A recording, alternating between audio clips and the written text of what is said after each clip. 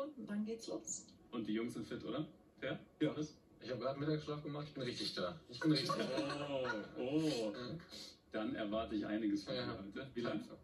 Ähm, 45 Minütchen. Oh, sehr schön. Also machst du das immer auch so an Spieltagen? Äh, Da immer so dreieinhalb Stündchen, aber heute äh, Dreieinhalb Stündchen Mittagsschlaf. Das ist das Beste an Abendspielen, das ist das Beste. Dreieinhalb Ja, Ernst? da hol ich mir die Körner, ja. Und für 45 Minuten musst du dir einen Wecker stellen oder wachst du von alleine? Nee, Wecker. Wecker. Wecker, ja. Ganz wichtig. Du machst jetzt auch euch. Mittagsschlaf. Ja. Danke dir. Herzlich willkommen Ihnen allen nochmal. Dreieinhalb Stunden? Ja. Da wäre ich, da wär ich danach so verschallert, dass ich gar nicht mehr aufstehen könnte. Ich habe es auch geliebt, muss ich ganz ehrlich sagen. Das war noch äh, Fußballerzeiten. Jetzt gibt es das nicht mehr. Äh, mit Kindern und richtigen Arbeiten äh, hat man keine Zeit mehr dazu.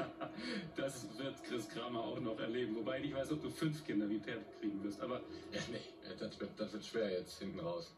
okay.